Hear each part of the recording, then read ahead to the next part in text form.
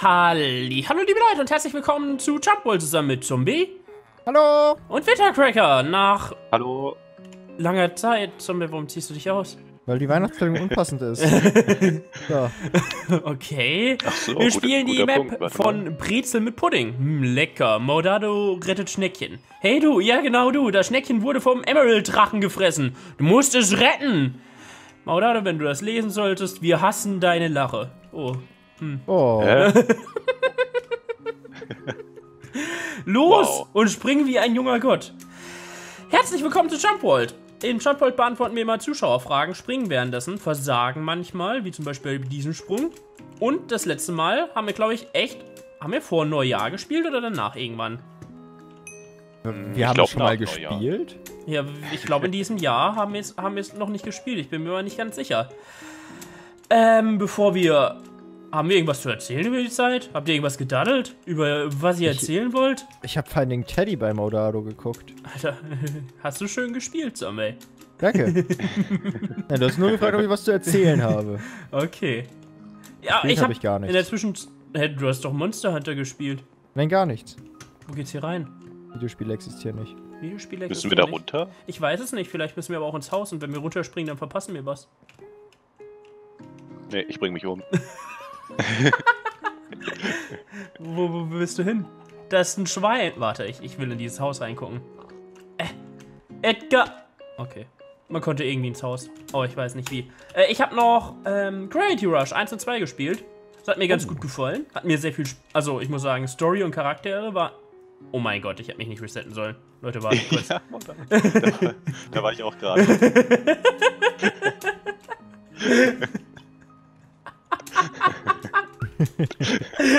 Einfach komplett am Anfang. Ja, ja, genau. Hat mir sehr viel Spaß bereitet. Story-technisch und auch das Grundgameplay. Nur das Kampf Kämpfen war ein bisschen ätzend, aber es hat mir trotzdem Spaß gemacht. Du wolltest irgendwas zu den Charakteren sagen. Ja, Story-Charaktere hat mir alles gut gefallen. War alles Ja. sehr herzig. Aber das Kämpfen war ein bisschen ätzend. Aber das war im zweiten Teil dann besser. Da wird mir storytechnisch der erste besser gefallen.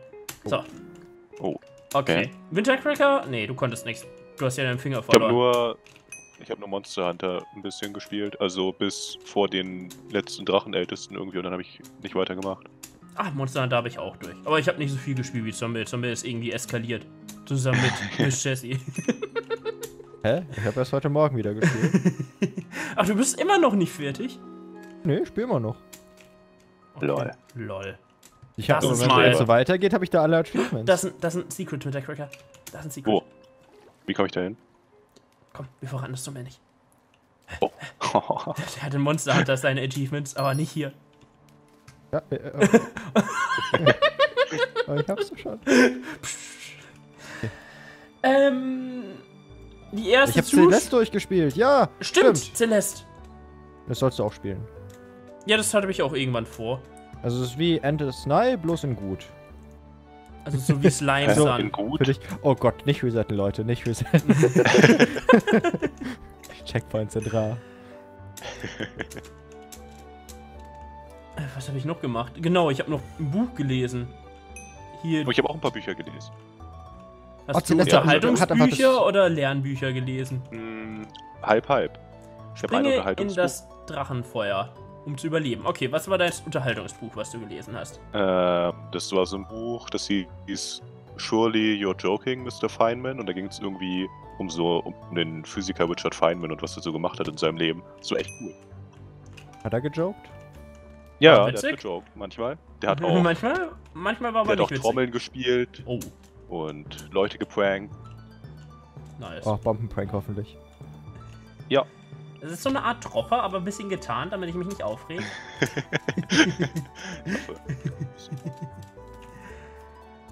Äh, ich habe hier äh, Falscher Spiegel und das Spiegellabyrinth gelesen.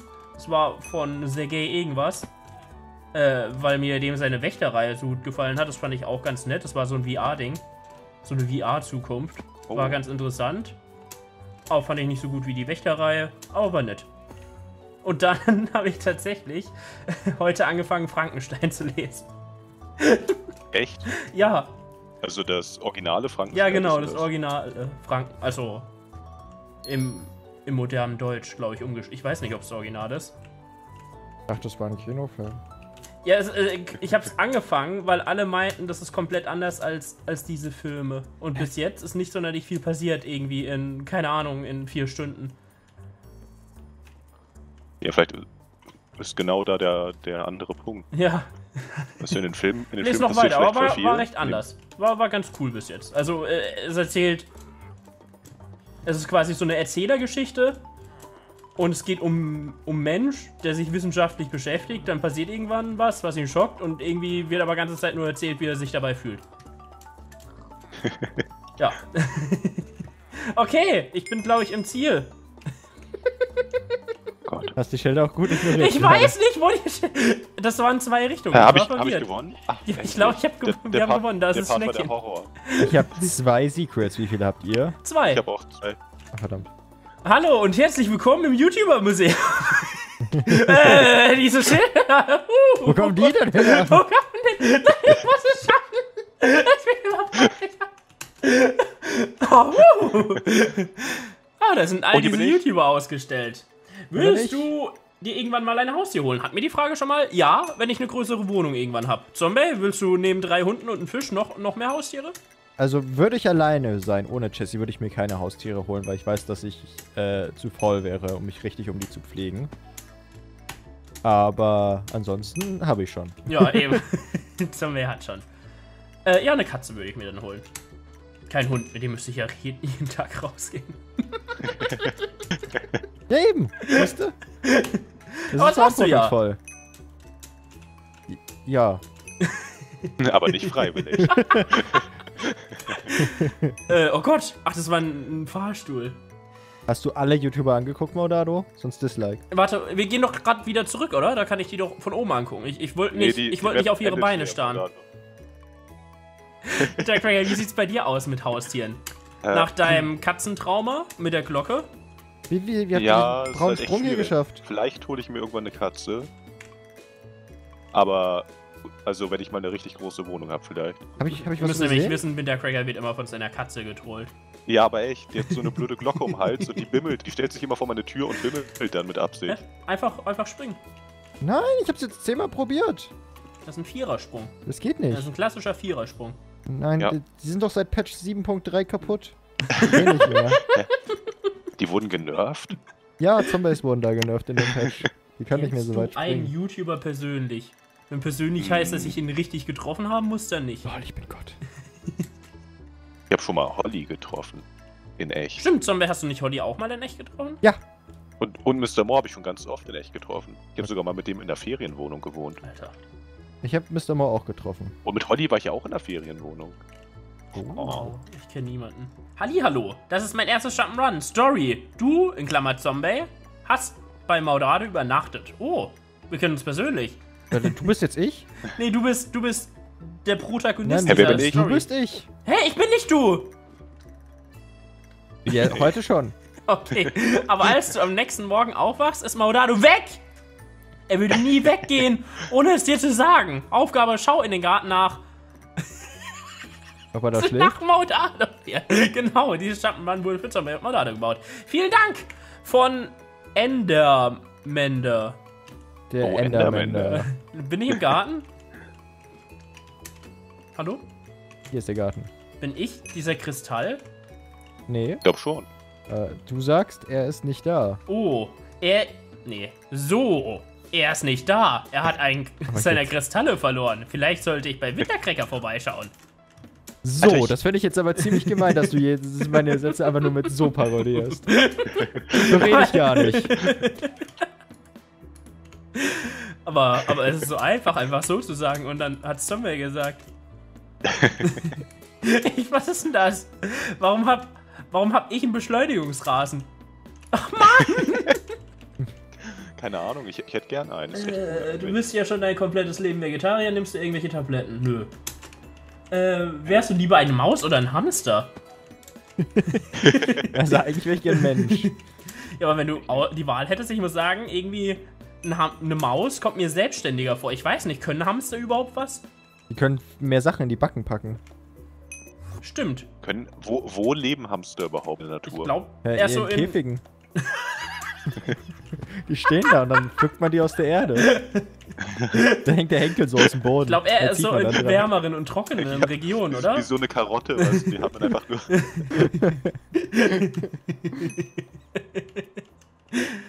Bitte, Cracker! So, ich brauche deine Hilfe! Warum werde ich angeschrien? Ich helfe niemandem, der mich anschreit. Schick mir mal ein gutes Meme. wenn Ich helfe gleich niemandem, der mich anschreit. Was ist denn so los? So, Maudado! Er ist weg! Hm, Ich rede trotzdem mal mit dir. Ach ja! Er war erst hier. Alter, nein, wir haben guten Dialog oben. Oh nein, warum? Wir, wir können dort durch das Portal, so kommen wir in die Hölle, in die Höhle, wo er hin wollte. Danke, am besten kommst du mit. Ab in die Hölle. Da wollte er rein. Äh, er hat gesagt, dass er hier ein Treffen mit jemandem hätte. Komisch für ihn, oder? Ja, stimmt, das ist echt komisch, Modano trifft sich nie mit Leuten. Ja. Schon etwas. Also ich wäre lieber eine Maus, weil ich nicht weiß, was Hamster können und warum die existieren. Aber da kann man immer so richtig viel Zeug in den Backentaschen lagern. Modano, das ist schon praktisch. Ich weiß nicht, warum Hamster existieren. Mittag, du sagst was. Oh, äh, äh, ich glaube schon. War das Maudado? Ali, hallo, Hilfe! Was als nächstes? Äh, ich glaube. Hä, wa- warum Äh, soll ich das? Ich glaube, du So, recht. bestimmt Giftboden. Ach so, ich glaube, du hattest recht. Alter, rückwärts. Oh Gottes Willen, Giftboden. Giftboden, warum ist der rot? Was hältst du von Dating-Apps oder Dating-Webseiten? Feier ich. Vor allem die Dating. Also, es gibt bestimmt Leute, die sowas benutzen, aber Nee, ich es ist ja auch eigentlich nichts Schlimmes, das zu benutzen, aber irgendwie. Keine Ahnung, ich, ich benutze das nicht. Ich hätte Angst. Wäre mir alles sehr suspekt da, ja. Ich Ich Angst, mich plötzlich mit einem Fremden zu treffen. Ja. Ah, da bin ich. Zombie. Gewonnen. Ja, hallo und herzlich willkommen, ihr seid da zum Glück. So, was ist passiert? äh, hallo und es haben mich zwei Diebe entführt. Äh, warum habe ich keinen Standardspruch? Naja. Wenigstens äh, geht es dir gut. Weißt du, Zombie hat wenigstens kurzen. Meiner Ja. muss man immer einen- so einen ganzen ewig langen Satz sagen. hallo, liebe Leute und herzlich willkommen zu. Danke fürs Spielen. Ich hoffe, es war nicht zu schwer. Bitte bewerte fair und einen schönen Tag noch. Worüber haben wir gerade geredet davor? Ich wollte noch Dating, irgendwas dazu sagen. Dating-Apps. Ach so, ja, ich würde das nicht cool für, also ich fände es für mich nicht cool oder ich würde es nicht benutzen, weil ich nicht eine Beziehung haben wollen würde, um eine Beziehung zu haben. Ja, ja, genau, ich- dasselbe. Also ich empfinde gerade nicht so, als ob ich unbedingt eine Beziehung brauche. Ich denke mir, yo, wenn es passiert, dann passiert's halt. Ja, Kann man nichts dran ändern. Hm? Blöd gelaufen. Ja. So würde ich es eher wollen. Ich will, dass es halt natürlich entsteht und nicht, dass ich irgendeine Person suche, die nur zwangshaft eine Beziehung Aber ich, haben will. ein offener... Also Ja, ich kann mir auch vorstellen, wenn man ein offenerer Mensch ist, dass man einfach denkt, yo, ich will neue Leute kennenlernen und vielleicht entsteht dabei eine... Ich finde es jetzt auch nicht... Ich verurteile es jetzt auch nicht, aber ich würde es nie selbst machen. Aber vielleicht sind wir auch einfach zu jung dafür. Also wenn deine biologische Uhr tickt, Modado, vielleicht Ja, weil mein Ja, wenn du Ablaufdatum... kleine Maudados in die Welt setzen willst. Hey, willkommen zu unserem Jump'n'Run. Dies hier ist eine kleine Weihnachtsmap. Ja, perfekt! Drei Ich habe ja noch meinen Weihnachts... Zombie, du kannst dich wieder anziehen. Mit Ach. einigen hoffentlich süßen Figuren. Ein Jump'n'Run und einen kleinen Quiz. Extra für Maudado und German Let's Play. Wer will German Let's Play sein? Viel Spaß. Unser Name ist auf Instagram zu finden. Da. Oder mich bin ich Zombie. Oh, guck mal, ein süßer Weihnachtsmann. Ich hoffe, der kommt Oh, auch der vor. hat einen Teddybären, der genauso groß ist wie er. Äh, in deinem FAQ steht, dass du Schneidezähne, Prothesen oben hast. Ja, habe ich. Wie ist das passiert? Fahrradunfall. Äh, Was, was mit deinen Schneidezähnen? ich habe zwei Prothesen. Zwei Also, Zahnprothesen. also hast du da zwei Krücken im Mund, oder? ja, genau, quasi. Oh. Da wurde So quasi ein Gewinde in meinen Kiefer reingebohrt und dann wurden da Krücken drauf gedreht statt Zähne. Haben die so wie bei so einer elektrischen Zahnbürste so eine Vibrationsfunktion, Ja. damit du einfacher kauen kannst? Frage 1, wie viele Abos hat GLP auf Instagram? Verdammt. Mehr. Äh, hallo, ich bin Ja, GLP, wie viel hast du? äh, rechts. Weniger. Warte, was war die Frage? Und wie lange hast du die schon? Es ist anstrengend. Ich habe die, glaube ich, seit ich 19 bin. Ich habe meine Zähne davor verloren, durfte ich aber nicht reinmachen, weil. Also, es durften keine weil Dinger die ja noch reinkommen. wachsen und Genau, so. weil mein Kiefer noch gewachsen ist. Und ob ich es spüre oder sie mich nerven, nö. Irgendwie ist es ganz normal. Irgendwann gewöhnt man sich dran. Am Anfang war es wahrscheinlich ein bisschen merkwürdig, aber eigentlich sind es Zähne einfach. Frage 2. Ist Maudado Veganer oder Vegetarier? Trinkt Maudado Gift? Maudado, warum Wintergott hätte vor dem Schild stehen bleiben müssen. Vegetarier. Maudado nicht gewusst, wo er rein soll. Achso. Wieder richtig. Hä, die erste hatten wir falsch. Auf zur nächsten Frage. ja. Müssen wir auch irgendwas zu den Prothesen sagen? Ja, ich weiß es nicht. Das sind gerade Fragen an mich. Ja, Leute, äh, Mir ist mein? Schneidezahn fast abgebrochen mal. Oh, hast, Ja, du, hast du ein Stück ja. verloren von Schneidezahn? Nee, nur, nee, nur fast. Es war so ein Mini- Mini-Riss drin, der geflickt wurde, glaube ich. Irgendwie. Ja, bei mir war es so ein Mittelbruch. Heißt, äh, die Zähne sind oben abgebrochen, aber dann war unten noch hier, wie heißt das, die Zahnwurzel und da musste es richtig eklig aufgebohrt werden und es so rausgenommen werden und ach, das war richtig schlimm. Und, Bin ah, und dann irgendwie muss es so auch drei Monate lang immer wieder nachgenäht werden, weil es nicht über das Fla den, den, den hier, wie heißt das, Knochen vom Kiefer gegangen ist. Ja, Zombie? Äh, ich bin irgendwie so nach vier Jahren oder so, nachdem ich nicht mehr Eislaufen war, mal wieder Eislaufen gegangen und bin dann voll mit den Schneidezähnen aufs Eis geknallt. Das hat wehgetan. Und da, da war da der kleine Riss. Ja, Wintercracker, wie lebt sich damit, bald eine Fingerprothese zu haben? Hm, ultra geil. Wie viele. Ach, höhere. Verdient wirklich mein Finger, Leute. Was war die Frage überhaupt? Wie viele Motive Manu in seinem Shop hat für T-Shirts. Das weiß natürlich jeder. Nur echte Ich Fans. wusste nur, dass es ultra viel ist. Oh. Vielen Dank fürs Spielen unserer Map. Wir hoffen, es hat euch gefallen, bewertet gerne und sonst noch einen angenehmen Tag wünschen wir dir. Frohe Weihnachten. Dankeschön. Danke. So, bewertet. Ich habe die anderen alle nicht bewertet. Tut mir leid. Danke für die ganzen Maps. Hier haben wir einen schönen Glockenturm, da haben wir einen Weihnachtsmann. Ähm, vielen Dank fürs Zusehen. Schaut bei Zombie vorbei. Der muss jetzt weg. Wünscht ihm viel Glück. Und bis zum nächsten Mal. Tschüss. Tschüss, Leute. Ciao.